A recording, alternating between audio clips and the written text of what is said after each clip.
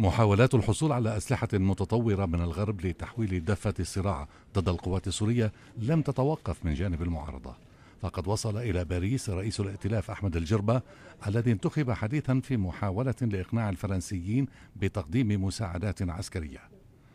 الجربة اصطحب معه وفدا يضم قائد الجيش الحر اللواء سليم إدريس للاجتماع مع مسؤولين فرنسيين من بينهم الرئيس فرانسوا أولاند الزيارة تبدو محاولة من جانب الائتلاف السوري المعارض لتطمين الفرنسيين من أن أي أسلحة ثقيلة لن تسقط في الأيدي الخطأ. وهي مخاوف لطالما أبداها الغرب من مغبة وصول هذه الأسلحة إلى إسلاميين متشددين ومن بينهم جبهة النصرة. الجربة سيصل إلى نيويورك الجمعة للاجتماع مع أعضاء مجلس الأمن قبل أن يعود إلى زيارة بريطانيا وألمانيا لاحقاً.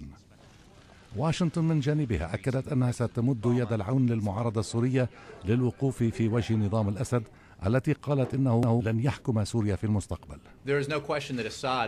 ليس هناك شك في أن الأسد بمساعدة إيران وحزب الله يستمر في شن هجوم وحشي على الشعب السوري. وتصاعد هذا الهجوم مؤخرا بفضل المساعدة التي تلقاها من هذين الطرفين. لهذا فمن المهم أن تمد الولايات المتحدة وحلفاؤها المعارضة بالمساعدة التي تحتاجها لتقوية نفسها والرئيس كما أوضح مؤخرا أنه ملتزم بتطوير المساعدات الضرورية للمعارضة Assad forces and the Hezbollah and Iranian backed forces. قضية مد المعارضة بأسلحة نوعية متطورة طال الحديث فيها حتى أن الجيش السوري الحر أعلن من قبل في أكثر من مناسبة أنه حصل بالفعل على بعضها. لكن الموقف المعلن من الغرب أن هذه الأسلحة لم تصل بعد إلى المعارضة التي تبدو عطشة لها. الله أكبر.